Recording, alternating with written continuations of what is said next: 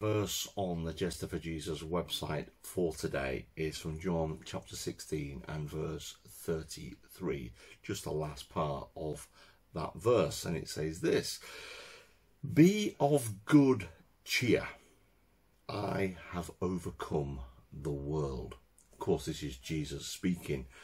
He's telling his disciples to be of good cheer. Another phrase that can be used, another verse and translation of this says, Take heart I have come to overcome the world. Um,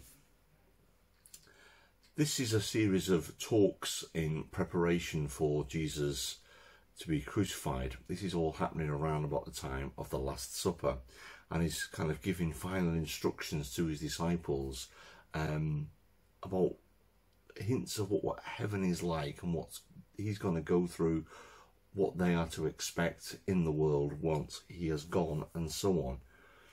But to be of good cheer, I have overcome the world.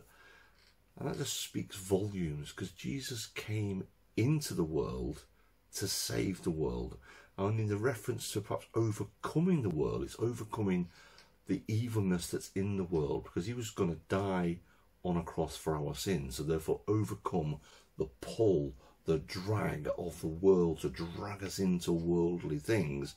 Be of good cheer. I've done it and my spirit is going to go with you and you too can be able to do just that.